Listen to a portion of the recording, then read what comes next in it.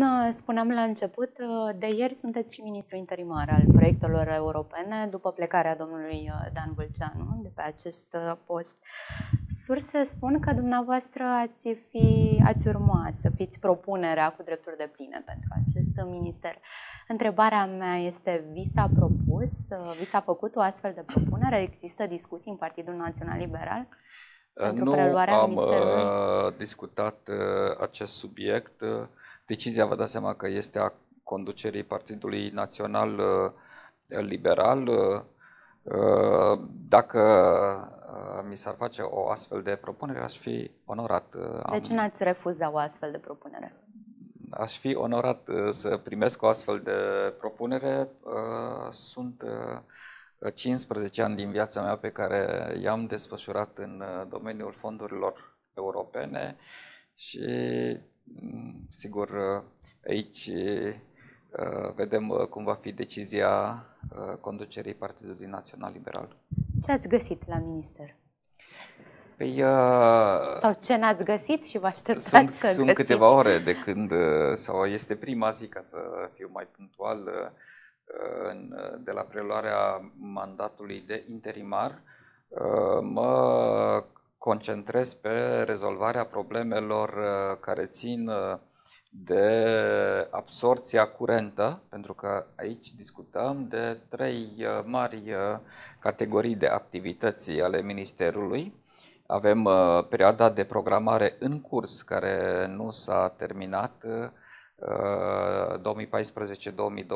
2014-2020, dar a cărei închidere se face pe 31 decembrie 2023. Acolo România mai are încă aproximativ 12 miliarde de euro. Deci suntem uh, până în 31 decembrie 2023, mai este un an și 8 luni de zile în care mi-ar părea rău uh, să pierdem uh, această oportunitate și cât voi exercita mandatul de interimar, um, voi avea ca prioritate ca acești bani să îi propun ca să-i folosim uh, pentru ceea ce înseamnă implementarea proiectelor pe de o parte și pe de altă parte să evităm pe cât posibil uh, ca să pierdem acești bani, găsim alternative de finanțare uh, pentru alte activități și nevoi pe care le are România. Avem a doua problemă, este cea a cadrului despre care lumea vorbește mai puțin, dar este extraordinar de importantă. Este perioada de programare 2021-2027. Acolo România are grant, și repet, grant, 30 de miliarde de euro.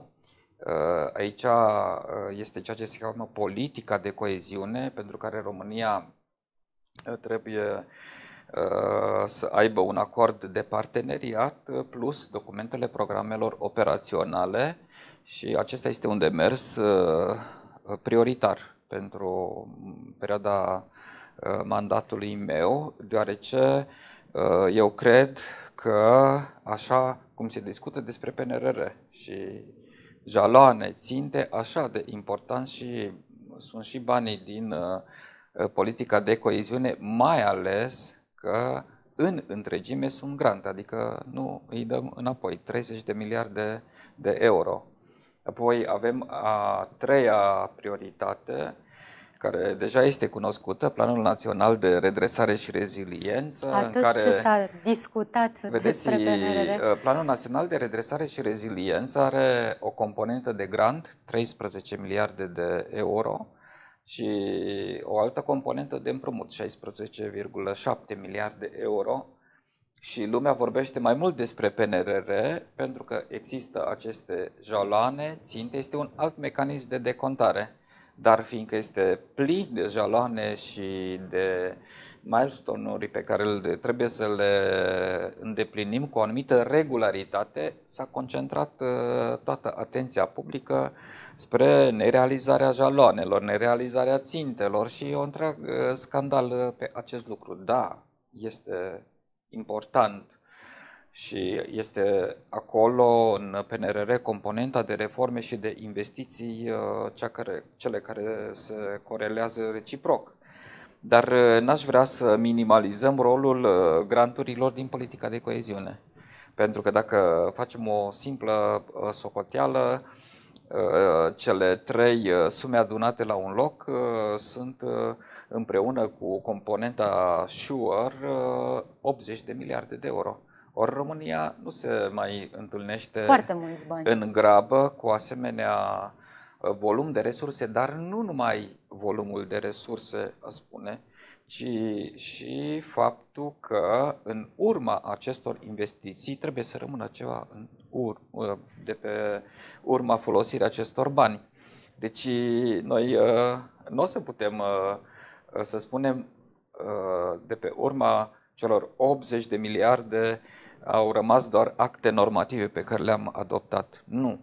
Trebuie, va trebui să arătăm și componenta de infrastructură care este cea pe care omul o simte de la autostrada pe care se deplasează până la linia de cale ferată, spital modernizat, școli modernizate și toate acestea sunt lucrurile palpabile pe care uh, România trebuie să le împingă înainte și să fie în măsură să spună da, uite, aici au fost cei 80 de miliarde alocați, acesta este tabloul rezultatelor pe care îl avem și am făcut următoarele lucruri uh, cu acești bani.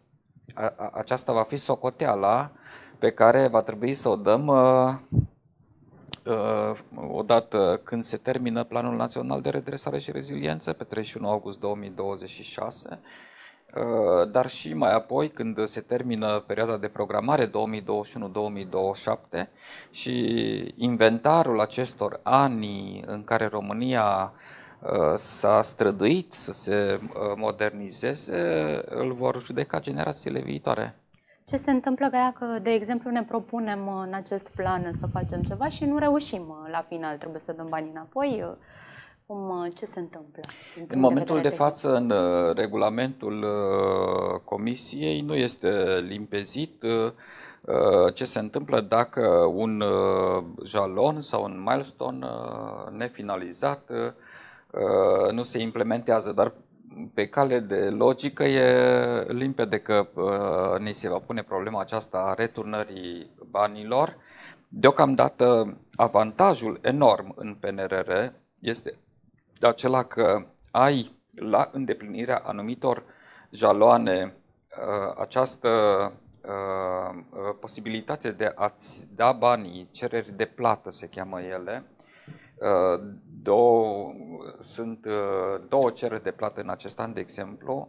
Una este în luna mai cu aproximativ 3 miliarde de euro și alta este în luna octombrie cu alte 3 miliarde de euro, deci în total 6 miliarde de euro în condițiile în care jaloanele complexe, număr de kilometri de autostradă, număr de kilometri de linie de cale ferată, număr de spitale realizate, acelea încă n-au venit.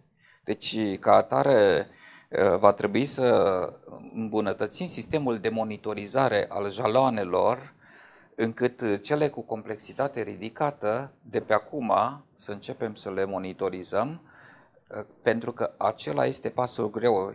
Spuneam că este avantajul PNRR-ului că există acest sistem de decontare, pentru că în acest fel banii odată ajunși în cont, noi putem să accesăm uh, uh, banii pentru realizare de autostrăzi, linii de cale ferate, drumuri naționale, iar când vine scadența acelui jalon cu complexitate ridicată, să fim în măsură să Uh, spunem că da, este îndeplinit. Deci avem plan, avem bani, ce ne mai lipsește, nu? Capacitatea să ne apucăm de, implementare de treabă. și exact. eforturile conjugate pe care trebuie să le facă ministerele, uh, astfel încât uh, să poată să fie în măsură ca ce s-a stabilit prin PNRR să poată fi dus la bun sfârșit.